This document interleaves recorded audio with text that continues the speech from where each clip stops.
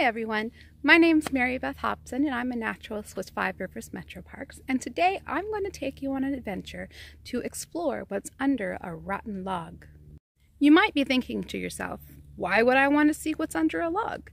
But with spring coming and everything blooming, all the bugs and all the little creepy crawlies that are really cool to look at are just now waking up and really just starting to get super busy and exciting to watch.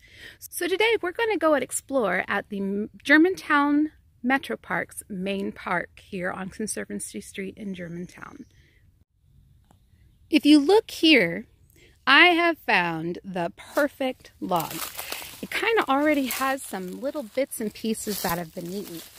And you can see that we've got holes and we've got pieces falling off and rotten wood. And so there should be a lot of fun things for us to look at under here. But first, let's kind of look at the top of this. Can you see all these bits and pieces? Let's see. You rip a little bit out. Look. Look at all those holes and that dust. That means we should have lots of fun finding what's underneath here. Now, because we're in these animals and, and these insects home, we don't really want to disturb them too much. So I'm just going to roll the log away from their home. And when I'm done, I'm going to make sure that I put it back. Oh, look over here. That's a pill bug if you look at it, I think. Let's see. I don't know. But look at all this stuff in here. You've got fungus and you have little spider webs, all these neat things. And actually, if we look under here, we might even find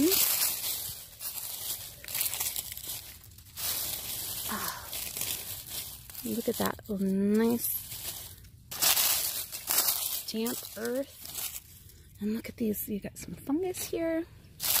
So I'm just using my hands because dirt, dirt's good for us as long as we don't eat too much of it.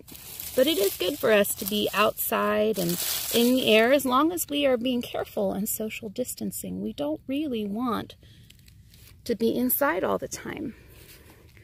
So I can look and see that we do have some animal activity under here. I just can't find anybody.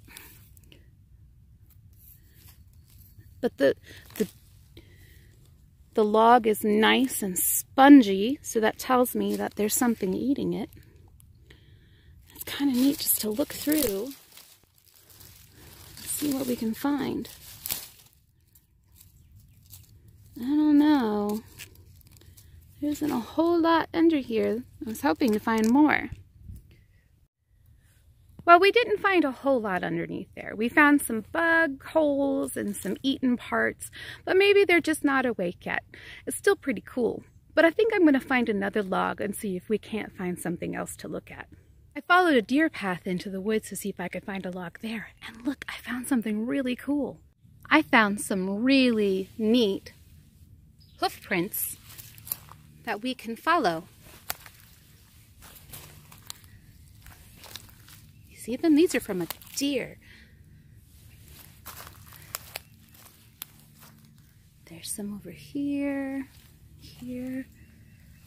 Looks like maybe one of them was bigger than the other. This one was going a different direction. And they just followed it all the way along. I found another log for us to look at. It's a little bit thinner, but a lot longer than what we did last time. So I'm kind of hopeful that we'll find something. As you can see, it is quite a bit longer. And just like the other one, this is somebody's home. So we're going to be very careful when we roll it over. And then we'll be sure to put it back the way we found it.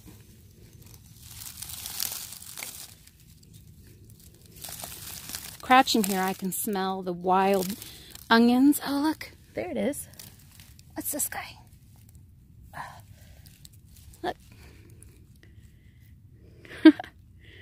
Little pill bug. I'm sure they have a real name and I will have to look it up, but this guy just went in my sleeve. he dropped out And as long as we're careful, we really don't need to worry about the bugs biting us or anything. So I wasn't too scared. If you look here, trying to, there it is. Found a worm sitting in there. I'm going to leave it in there because I don't want to pull it apart or out of its home. But look how pretty it is. It's nice and kind of a pinkish purple red. I think they're cool. They're a lot of fun to play with too. So I'm not finding a whole lot underneath here, but we can see that some of the bugs are starting to wake up. And now I'm going to carefully, so I don't want to crush the worm, I'm going to carefully roll the log back. And we'll give it back its home. This was really fun. Not only did we get to follow a deer path and get to see what the deer see, very rarely do we get to see what they get to see. We also found some bugs and a worm in their home, and we were respectful and turned it back. Thank you for joining me. I really hope you enjoyed this video. I can't wait to see you safely in our parks and having a good time. Have a really great day. Bye.